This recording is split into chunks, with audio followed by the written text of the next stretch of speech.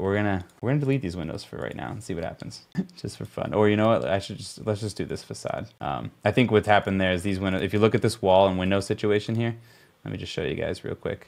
Um, I've got this wall attaching to this roof. This wall is attaching the base to this roof, and so those windows may actually be hosted to something weird, some some weird thing with the with the walls and windows there.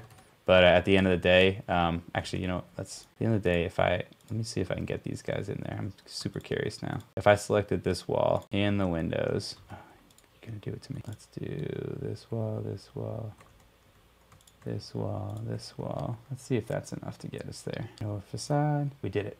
Okay, so I'm actually kind of glad that happened because that is literally what happens every time you use design options. Not just say every time.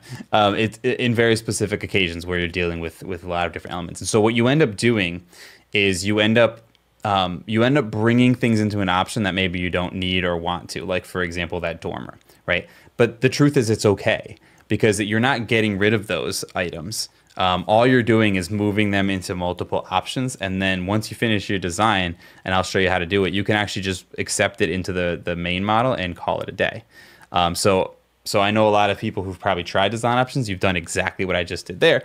And the truth is really the solution is to just find all the elements like I just did there, right? I, I watching me troubleshoot that should help you next time you need to troubleshoot it, right?